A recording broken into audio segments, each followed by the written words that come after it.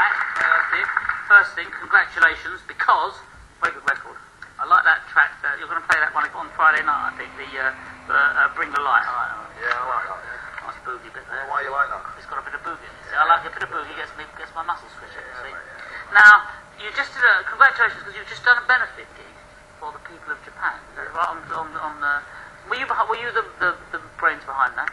Talking about the brains, I was definitely behind it. Yeah, excellent. It was there anyway, you know what I mean? Have you have you Yeah, I been? think, I mean, me and Paul Weller kind of like, you know, sort of uh, around Paul Weller and then he sort of ran around a few people and before you know it, we're there on stage, haven't we? Do you, have you played out in Japan? Yeah, loads of times. And they like you there. Yeah, see my Michael. Yeah, they, I love the Japanese. Yeah, no, it's they're nice people, man. Yeah, they are great, aren't they? Now, you, you know, you've just started touring together. What's is it? How is it different to Oasis touring? Is there a different uh, atmosphere? Would you say? Yeah, yeah, different. Gentle Apples and oranges. That, What? I don't know which one was the apple, but it's different. Yeah. You eat apples and oranges when you're on no, tour. ones. No. Yeah, no. Yeah, yeah. But yeah. what sort of thing do, is it different? I mean, would you say it's a Small, bit quiet? smaller venues, man, that's, that's the thing, Does that feel better?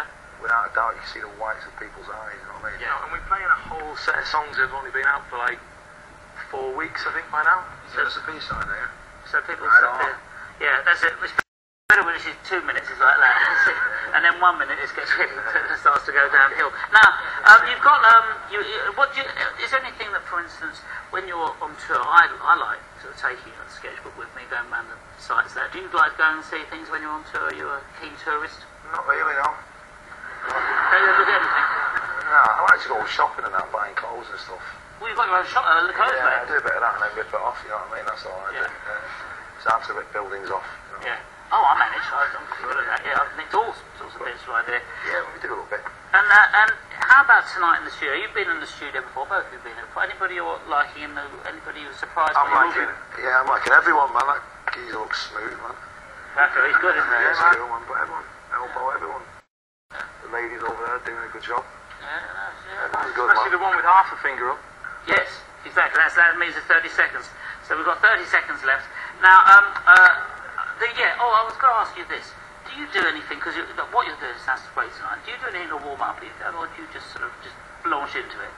I try and tend not to do sound sets because they do my head in, you know what I mean? I like to just get straight in there, you know what I mean? And this is the best way. it's pretend, in it, sound checks. Live and direct. Live straight in there, one take, man. You can see the white. You can see the whites of our, our eyes. We are here with you. Beautiful. So thank you very much for joining us from BDI. Gem Archer. We'll be hearing more from their record as we this and. And now, from Sweden, the tallest man on earth.